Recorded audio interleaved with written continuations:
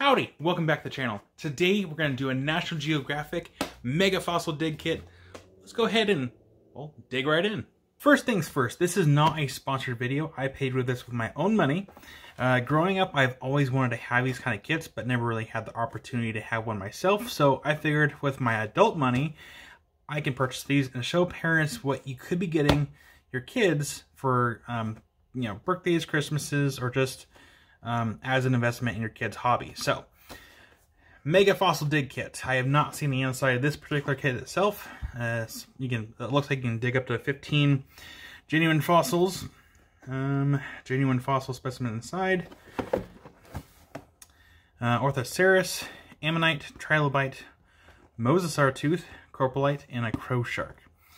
Kit includes 15 real fossils, one extra large dig brick, one excavation tool, one excavation brush, one magnifying glass, and one learning guide with instructions. So, I did a shark tooth dig kit a while back, and if it's anything like that one, then I have an idea to kind of help speed up this process a little bit for the sake of the video.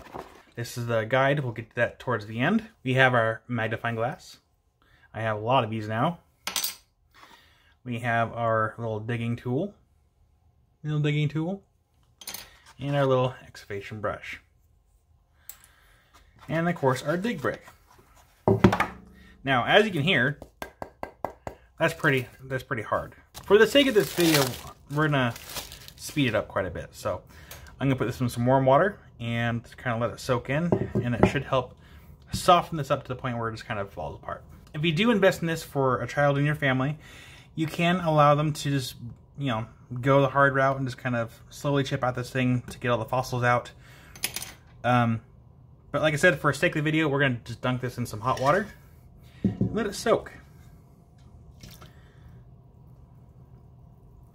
See all the bubbles coming up. Should have did this with the shark tooth one. Yeah, it's a little softer already, but it's not soft enough. Use a piece of obsidian to hold it down while I look at the instructions guide really quick. Part of me wonders if you're supposed to put in water beforehand. yep. Item number two. The specimens are buried inside your digging brick. Carefully dig into the brick with the tools provided. If the digging brick is too hard, soften it by pouring a little water onto the brick and letting it soak in. Yeah, I'm. This is going to be overdoing it uh, by a lot. So let's see where we're at. Are we soft? No, we're still... We can try it now. Oh yeah, that's much tougher to work with. And right off the bat, you have a fossil right there. Oh man. Oh, we got two fossils right there. Right off the bat. Looks like a shell.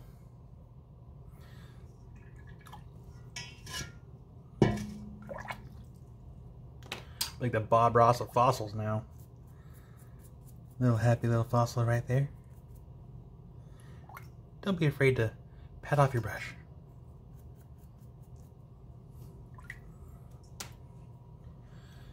We're to go ahead and see what we got.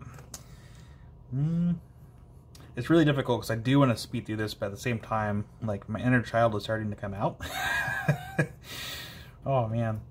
Like, right here we have a little, little shell fossil.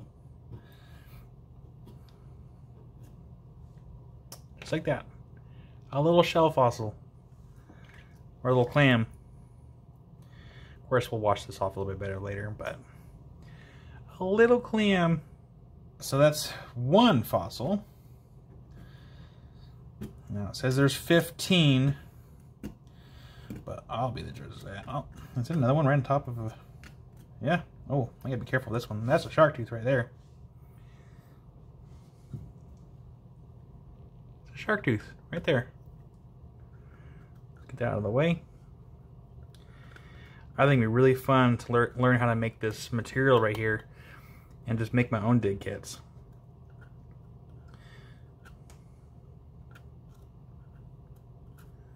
Just like that. We have a little shark tooth. Oh, we have another fossil right here. Right there. Oh, one right next to it too. It's really smooth.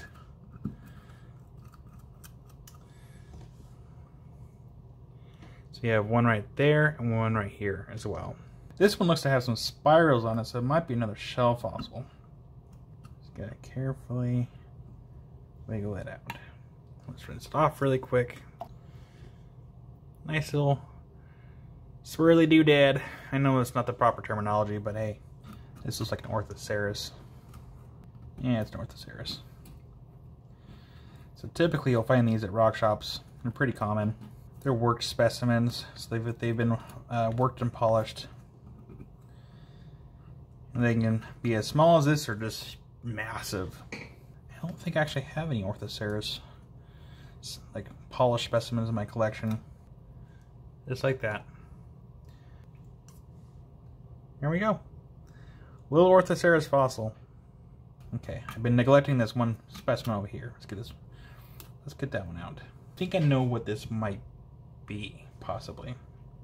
I'm wondering if this is the underside of a tri trilobite uh, fossil specimen. It has that right shape to it. And those specimens are usually pretty porous. Yeah, we're just gonna do this. We're gonna get that puppy out. Oh, that works too. I found a fossil. we'll go and just... I'm gonna get back to that. We'll get back to that one. So yeah, this is a trilobite. So we're just gonna very carefully break it. So, uh, be sure to excavate the fossil completely. I'm not too worried. This is, you know, this is an experimental kit, but this also goes to show you follow the instructions. Don't don't lead by my advice. Oh my gosh. I can glue this back together. That's not really a big deal. These particular trilobite specimens are pretty fragile to begin with. I just broke this one. No big deal. No big deal. We're gonna let it soak. We're gonna let it soak. No big deal. I'm sure some of you might be screaming in the comments, What did you do? It's not a big deal. Follow the instructions. Don't be me. I'm just powering through it. We have another nice little fossil right there. Wash that off. And nice little shell fossil. So, oh, how did I miss that? A little uh, ammonite fell right out. I don't know where that one came from. Oh, came from right there. Huh. Look at that one. Oh, man, I like these ammonite ones. They're so pretty. Uh, this one doesn't really... It does have some iridescence on there. Not a whole lot. Nice little... I mean, it's wet right now, but it, it is polished. So that's really cool. Okay, we're just gonna do that. Might as well. I already ruined one. We're speeding right through this. So also we have two fossils right here. That's a piece of coprolite, aka fossilized dino dung. It's very dense. And then what we got right here? Very carefully undo that one. It kind of looks like like a fossilized either uh, like a sea urchin, I think. It's got that uh, star pattern there on the top. That's what it kind of looks like. I Could be wrong, but that's what it looks like to me. And then, of course, our uh, nice little dino poo right there. We have dug out nine fossils so far. There's supposed to be 15. Let's keep digging for the rest. Or let's keep breaking for the rest because, you know, let's face it, that's what I'm doing right now. There's no point in... I'll let that one soak a little bit more. Let's let it soak. Boom. So it looks like we have a couple more fossils to carefully excavate out so we don't break those too. so we're just going to go here.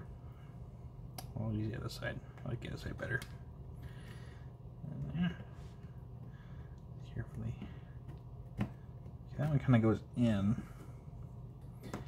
No, it doesn't. Okay. So it looks like it's another shell of some kind, but I can't tell what yet. So we'll sit that right there until we wash it off. You get another fossil right there too. We'll get that one here in a second. Get this other one out first. Just like that. That looks to be some kind of coral. Horned coral, I think. Yeah, some kind of horned coral.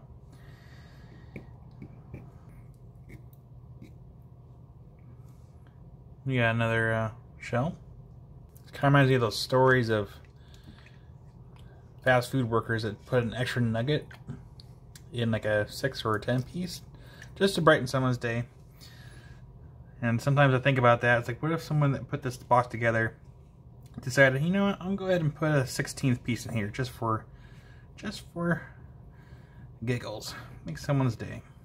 I think I've had that happen once where I got an, like, like a 10 piece nugget and there was 11 in there. And you know what? That did make my day. The little things, you know?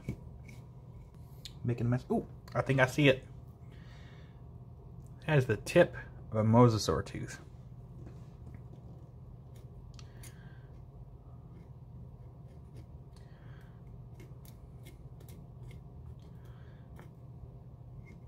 Okay.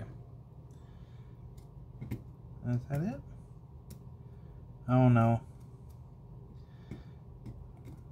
That was relatively careful. Was that really all I came with? Okay. Well, I am going to keep excavating this small spot because it's... I know that they can... Some, some teeth fossils can be pretty fragile. And I'd hate to lose a piece of it. What is that? What is that? Is this part of it? Oh! Oh, okay. That is Dino Bone. I was not expecting that. Okay, I'll take it. What is right here? It was right next to where the mosasaur tooth was. I think that might be another some some kind of tooth I'm sure uh, if I have some fossil friends that are watching this, you can probably tell me what that is. Okay, so we have 1, 2, 3, 4, 5, 6, 7, 8, 9, 10, 11, 12, 13, 14, and 15. So I was hoping for that 16th special little hidden nugget, but, uh, you know, 15 is that magical magic number. Um, I will double check to hear the other bits, just in case maybe there is that nugget that I missed somewhere, but let's get these washed off and we'll see what we got. Before we recap the stuff that we just dug out of this fossil dig kit, keep in mind that you're not getting top-notch, top-shelf, A-grade quality specimens. These are just fossil specimens. So first off the bat is our little broken trilobite that I helped break even more. you can kind of see that it wasn't the best quality condition before I broke it. Uh, there's even some dig material that was in there. So I just helped break it faster. And again, follow the instructions with, the, with these kits. It says in there to dig around the, the fossils to very carefully excavate them out. And as you can see from my mistake of making the process faster, I broke one of the specimens. So luckily it was just this one, not the other ones. So that is our little trilobite. Next we have an Orthoceras. Again, it's not the best quality uh, specimen. Um, they, they do use more advertising pictures to make it look more appealing. Uh, this would have been a, a, little bit better specimen. This not this one, mm, not so much, but still, it's it's the thought. um, it's it's supposed to be fun, and you know this was very very fun, and um, this is still really cool. I don't have any of this in my collection, so still that'd be a great addition to my shelf. This right here is some kind of horned coral. I'm fairly certain of that. This stuff will actually take a really good polish. We have some Coprolite, which is fossilized dino poo. These ones are, are a lot more dense than an agatized uh. So now I have a couple of these in my collection. We have a fossilized shell. Actually, we have a couple fossilized shells. A couple cute little shells. Now, some of that dig material is still in there. I'll come back through with a, like a toothpick or something to clean those out, but that's what we got. Again, I'm pretty sure this is a fossilized sea urchin. Let's use our magnifying glass. See if I can... Uh, Magnifying glasses work better in person. Some of the best quality. Come on. but yeah, um, yeah, a little fossilized sea urchin. I can just zoom in on my camera. That works just as good. Which works better. but that's still really cool. I like the detail there in the top. Really cool. We have another little clam. It almost looks slightly agatized, but I could be wrong. I'm not sure what this is. It could be some kind of like tooth, I think. Again, uh, any of my fossil friends in the that are watching this video, help correct me on this. That'd be great. Thank you. uh, let's see here. This has got to be some kind of clam of some kind, I think. It's got that, what looks like a little hinge right there. I think. I could be wrong. That's what it kind of looks like. And for our teeth, we have a little, uh, was it crow shark? Has really nice serrations right there. Really nice serrations. That's actually a very nice intact tooth. It's going to make a great addition to the shelf. We have here a mosasaur tooth. I actually don't have the, any of these in my collection.